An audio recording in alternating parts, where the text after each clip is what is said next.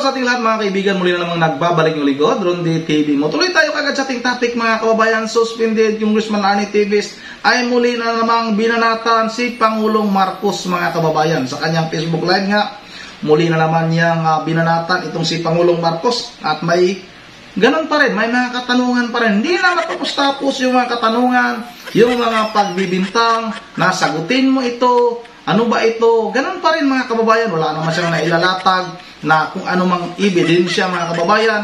Pero yung pagbibintang niya, no? yung mga tanong niya sa ating Pangulo, para bang epekto na talaga ng paggamit niya ng pulbo mga kababayan. Ito no, wag na nating patagalin. At kayo yung bahalang umusga kung ano ba yung mga sinasabi ni suspended Congressman Arnie Tibis kung naaayon pa ba uh, sa kaniyang uh, sarili mga kababayan. Ito na no, panoorin natin ito. At tingin ko Bakit? magiging masaya ang buong Pilipinas. Dahil ang pag-uusapan natin ay mga bagay-bagay na importante. Hi, Kong. Uh, good evening, Senator, from Joe Alvarez. Hello, sir. Simulan na natin. Ha? Alala nyo last time, di ba? Ang pagkatapos ko mag-live, naglabas ako ng video na ang caption ay Shabuyas. Alam nyo kung ano yung Shabuyas? Sige nga. O, Armando Dungog is watching. Hello.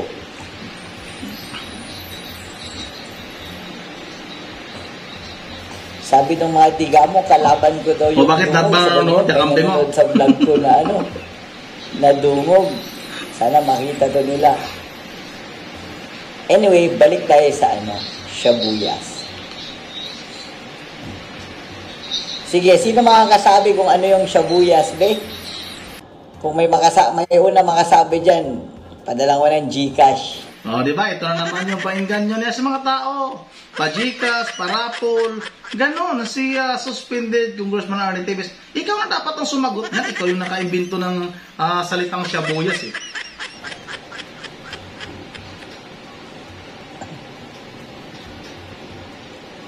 Lady as Amper Asibo watching from Bindoy. Kumusta mo diha sa Bindoy?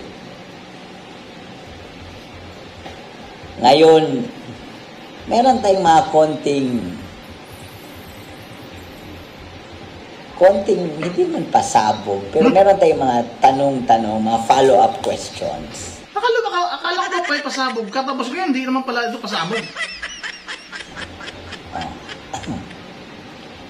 Simula na ba natin or maghintay pa tayo? Simulan na! Agad! Mag-comment nga kayo, mag-comment para alam ko kung magsisimula na So, tayo. ano mo, ikaw yung nag Simulan mo na, ang tagal na, nakaka, ano ba, simulan mo na kagad. Tayo or hindi. Baka kasi yung iba, maano na, ma...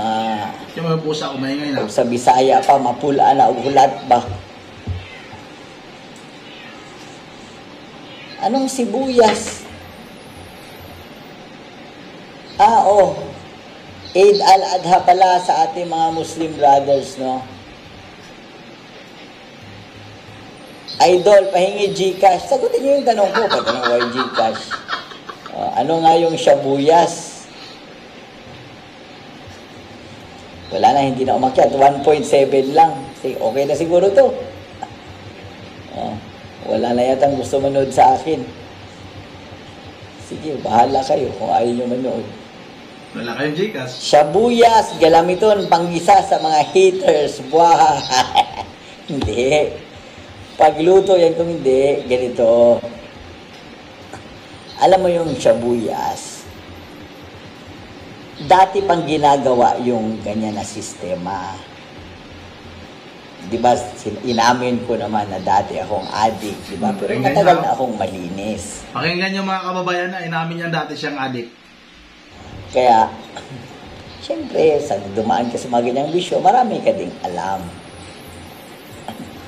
Ang ginagawa nila ngayon, nag-i-import sila ng sibuyas, sabay, doon hinahalo ang mga illegal na droga. Shabu, pulbos, at kung ano-ano pa. Bakit? Bakit sa sibuyas? Hmm. Mas mahirap kasi maamoy Oh, ng sniff dog yung droga pag nauuna yung sibuyas. Di ba ang sibuyas malakas ang amoy? hmm. Isipin mo sa isang container, nandun yung nandun yung sibuyas, sabay sa likod yung droga. Teka lang, teka lang, teka lang mga kababayan. Sa container ba ginagamitan pa rin ba ng aso?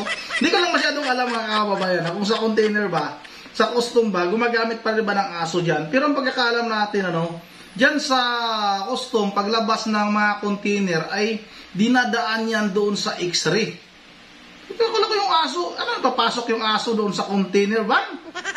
Tapos, Hindi ko talaga maintindihan mga kababayan. May, pero kayo, kayo, kayo, no? Kayo yung mas nakakaalam. Basta ang pagkakaalam ko lang, ano, ang ah, paglabas ng ah, mga container, ano, halimbawa may laman niyang sibuyas, isang malaking container kasi yan, sirado sa bakal yan eh. Hindi naman amakan yung ginagamit. Amakan ba yung ginagamit ng container para maamoy ng aso? O halimbawa lang, ilagay natin, may aso doon. Bubuksan mo ba yung container tapos ipapasok yung aso doon sa loob ng sa loob ng container van? Pero di ko lang alam.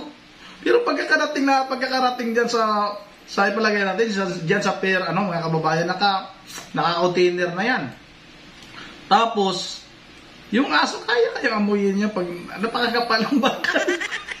Tapos sa natin mga kababayan naka X-ray machine. Doon nadaan yung ah, container van, nadaan yung sa may X-ray machine na nakaganon, ano, dadaan yung makikita yung kahit na kahit yung otak mo ah, suspended yung mo nakadikit, makita yung makita yan doon kung idaan mo yan, kung talagang may nakadikit pa ng mga pulbo diyan, malalaman doon sa X-ray machine. Kaya wag kang dumaan doon sa may X-ray machine ha. Di nahilo na yung aso sa amoy ng sibuyas, di ba? Oh, maski hindi pa nakabalat yun sa dami nun. Hindi mo naman kailangan punuin yung container ng ng droga, di ba? Dahil ang laman ng isang Ginagawa niya container dito dati. is Nagawa nito. 22 tons. Yung isang tonelada lang, ang dami-dami Hmm. na nun. Oh. So, kung may isang tonelada lang na droga sa loob ng isang container na puno ng sibuyas, halos hindi na makita at hindi na maaamoy ng aso yon. Aso. Magalit ba ng Pero alam nyo? Yung mga gumagawa ng, ayoko sana magturo nito dahil ano to, gawain ng mga masamang tao dati. eh. Ginoo ko. Pero dati, yung mga sindikato, hindi ako ah, yung alam ko lang, oh, baka pagbintaran nyo na naman ako na sindikato ako. Mag-comment lang kayo ah, comment lang ng comment para maano. oh. Sandali, puli na kong kay sadya na bulang. Ah, okay, malakas na daw sabong. Okay lang. Sige. Balik tayo dun sa ano. Dati, ang ginagawa, merong isang sindikato dati, nag import sila ng shabu. Sinasama, sinasama nila sa bigas. Pero ang ginawa nila, yung bigas, binibenta nila ng sobrang mura. Dahil kumbaga sa baraha, kicker lang yung bigas. Kumita na sila sa shabu eh. So kahit pinamigay pa nila yung yung bigas, kita na sila. So, yun, sa tagal-tagal na panahon, naging good shot pa sila. Parang katulad ng ginagawa, ginawa ni Pablo Escobar, di ba? Kahit ganun siya, nagpabahay siya sa mahihirap, tumulong siya, so medyo naprotektahan siya. Yung ngayon, sa sobrang sugapa, nag-import na nga sila ng ng shabu, kasama ng sibuyas, binenta pa ng mahal yung sibuyas. Anak ng ewan ko. Di ba? Mali. Ito mga, kababa, mga kababayan, na puro kwentong pagong lang ito, eh, no? Kung may alam ito noon pa, dapat doon pa, kung alam mo talaga, kung may katotohanan yung mga sinasabi mo, noon mo pa dapat nilabas yan. Kaya nga nilalabas mo lang yan, kinukwento mo lang sa pagong yan, dahil nasa labas ka ng bansa, hindi ka agad-agad ah, mahuli, ah, nagtatago ka. Kaya ang lakas ng loob mo na magsalita ng ganun kahit na walang katotohanan. Puro ka lang tanong, puro ka lang bintang. Pero wala naman mga kababayan, wala namang nilalabas na ebidensya. Magpakita lang, kahit na isang ano lang, isang ebidensya lang. Dilipat na ako sa'yo. Para pag ano kita, dilipat ako sa'yo, magpata, ipagtatanggol na rin kita. Huwag naman kayo masyadong sugapa. Pati. na kayo, sugapa pa. Nagkaroon tuloy tayo ng panahon na halos wala lang sibuyas yung sisig, di ba? Tanggal na nililisan nila. Anyway, lipat Ay, tayo sa ano, Ang layo rin ng ano nito, kwento nito. lipat tayo sa se- medyo seryoso na bagay. Nung vlog ko, Hmm. di ba, Sige na. tinanong natin si Presidente. Dahil, ewan ko ah, kung may angal kayo sa sinasabi ko, i-comment nyo lang. Pero ngayon, tanong, Yung sa command tanong- responsibility. Din pala. Di ba dapat sagutin mo yung gawain ng tauhan mo? Yung hindi nasagot ni Boeing kung paano nagkasya ang 13 na tao sa 9-seater na aeroplano, dapat sagutin ni Presidente yon. Ito, babalik na naman sa Kung hindi niya masagot yun, di dapat nagsabi siya, ay, sinungaling yung tao ko na yun. Dahil mali yung sinabi niya. Baguhin ko na lang yung tanong ko. Eh. President BBM, anong sa tingin mo? Tama yung sinabi ni Boeing o hindi? Bago na naman. Or ibahin ba natin yung tanong, Mr. President? Sinungaling yun or katotohanan? Ganito, Hmm, ba- Mr. President, ah. Huwag niyong mamasamain. Mhm. Huwag niyong, baka sabihin niyo, mayabang ako. ano? Hindi sa ganun, ah. Ang, ang akin lang, hindi lang naman Mayabang pa naman talaga. Mike Arroyo is watching. Hi, Sir Mike. Salamat sa panunood. si FG siguro to, Mike Arroyo eh. Yeah. Unless may ibang gumamit ng pangalan. Kumusta kayo? Ganito. Nawala tuloy ako. um, sana ba ako ano yung tanong ko kay ano? Kay, ah, kung Wala na. Wala totoo na, nalito o na. sinungaling siya, di ba? Oh. Hmm. Dapat sagutin nyo yon. Sabay, alam mo, mis, nyo, alam nyo, Mr. President, hindi pwede yung dead ma lang kayo eh. Di ba? Sa panahon Alam mo, uh, suspended congressman Arnie Davis, ano, dapat ang sagutin mo, ah yung tanong ng ating mga kabayan, saan ka ba talaga ngayon nagtatago? At bakit ayaw mo talagang umuwi? Kunwari ka pang ah, may papatay sa'yo, no? Kunwari ka pang nanganganib yung buhay mo. Pero ang totoo niyan ay talagang takot ka umuwi dahil ikaw talaga ang mastermind sa nangyayaring Pamplona Massacre. Ta- sagutin mo muna ang mga tanong din nating mga kababayan. Mas marami kayo nag kaming nagtatanong sa iyo kung saang bansa ka ba talaga ngayon. PRRD, kaagad sinasagot niya. O, Kung may reklamo Sa sa tao niya, kung tingin niya Mhm. mali yung tao niya, si Sandy kaagad.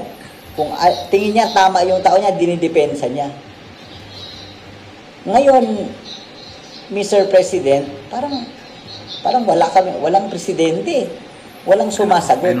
Again, wag niyong mamasamain. Ah, ito pala, dito pala ako nawala. Hindi naman ito tanong Mhm. lang ni Congressman Arnie. Mensahero lang ako ng taong bayan. No? Oh. Hindi naman ako sikat na vlogger. Pero, syempre, Oo, marami tragis, din ginamit pa yung mga tapang tao bayan. Di ka ba kinakalabutan sa sinasabi mo? ang nagpapatanong sa akin na tanong nyo nga to. Dahil hindi naman ganun yung, ib- ma- yung iba, hindi naman, wala namang ganong kalakas ng loob na magtanong Sino sa yan? inyo. Sino? Sino? Pero ako, meron Hmm? akong lakas ng loob dahil wala namang masama sa ginagawa ko. Mr. President, pwede ba Mhm. pakisagot na? Nagtatanong kaming lahat, ang buong Pilipinas. nagtatago ka. Kami ay mga Pilipino, kami pa ay mga taxpayer. At Uy, nako, Diyos ko. kahit, alam nyo naman, kay Manny Pacquiao ako nung eleksyon, Mga kababayan, ano, pasensya na no, sa mga talagang napipiko na sa kakapanood ng mukha ni na suspended Congressman Arnie Davis. Nilalabas ko lang ito ano, Ah, may nagkomento nito, nagkomento dito sa mga reaction ko no. Na sorry ano, ini-skip ko pag nakita ko yung mukha ni suspended Congressman Arnie Tivis dahil sobrang asar ako na pananalita. Halatang halata na talagang laging ah, puno yung utak ng pulbo kaya ini-skip daw niya pag nga nakikita niya na siya suspended Arnie Tivis tapos sinasabi pa mga taong bayan ang nagtatanong, wala ka bang ano? Ano ba, di ka ba na, di ka ba na, ano, di ka ba tinamaan ng, ng tipdas?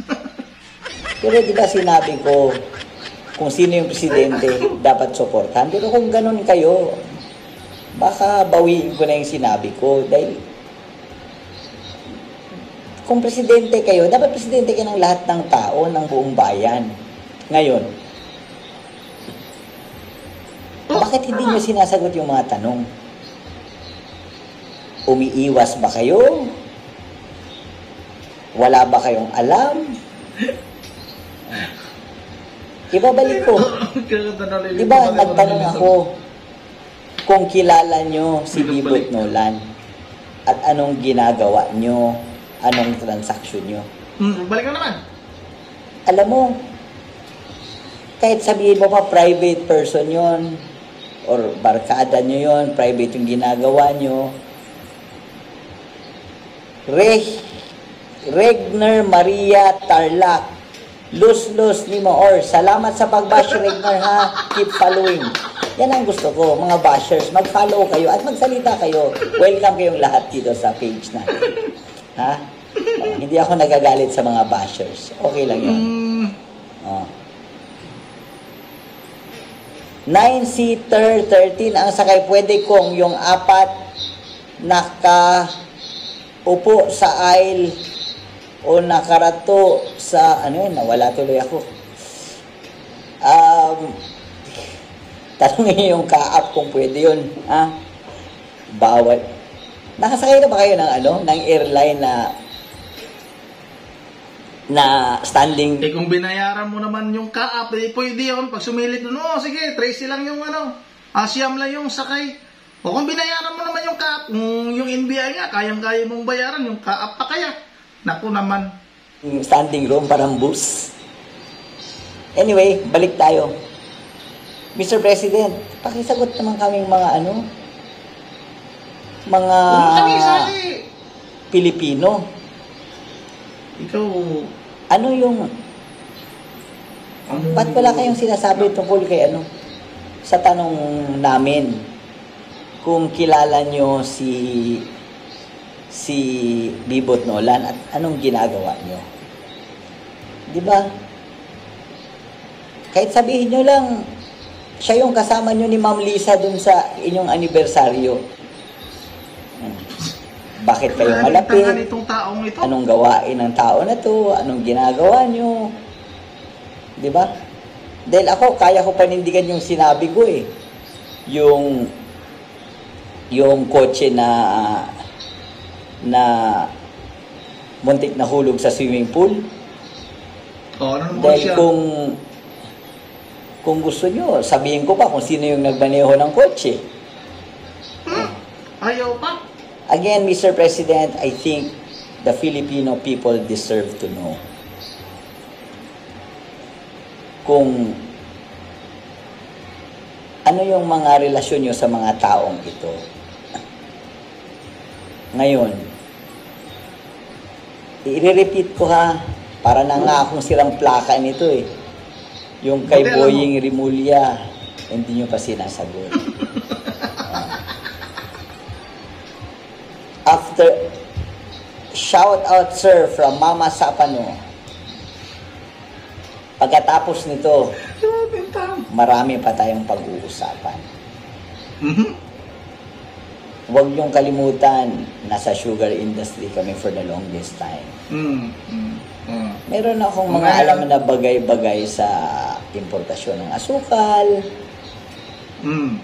mga mga losses and profitabilities of the sugar trading business, no? Mm. Pag-usapan natin yan ah, sa susunod natin na mga vlog para makita naman ng taong bayan. Again, ibabalik ko ha. yung dalawa yung tanong ko. Meron pa akong dalawa pang tanong, Mr. President. Hmm, ano pa? Um, anong masasabi nyo sa transaksyon ng Prime Media Holdings at ABS-CBN? Ano naman? Ito yung tanong namin lahat. Karapat dapat ba to? Tama ba to? Ito ba ay moral? Ito ba ay legal? Ito ba ay nakakatulong sa taong bayan? Ang bayan. Sana po masagot nyo itong tanong ng mga netizens. Hindi to tanong ni Congressman Arnie Teves po. Tanong to ng taong bayan. Walang nangyari sa kanya. Di, tanong, di daw tanong ni Arretibis. Pero siya yung tanong ng tanong. Bakit?